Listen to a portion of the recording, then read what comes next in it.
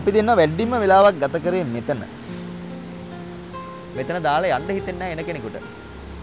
මෙතන තියෙන සුන්දරත්වයේ සුන්දරත්වයට එහා ගියපු චමත්කාරය මේ හැම දෙයක්ම දිහා බලන් ඉන්නකොට ජීවිතය ගැන හිතෙන දේවල් නම් ජීවිතය ගැන තියෙන ආසාව නේ මන්ද මට හිතා ගන්න බෑ මම කොහොමද මේ වචන වලින් මේවා කියන්නේ කියලා. මට මගේ කෙල්ල මේ ගැන කිව්වට කෙල්ලටවත් තේරුන්නේ නෑනේ මෙතන මෙච්චර ලස්සනයි කියලා. තියැල්ල නමක් මේකේ හොයාගන්න නෑ. හැබැයි ගමේ කට්ටිය නම් කිව්වේ මේකට මේ පෙරුමාල් වැටුණ ඇල්ල කියලා.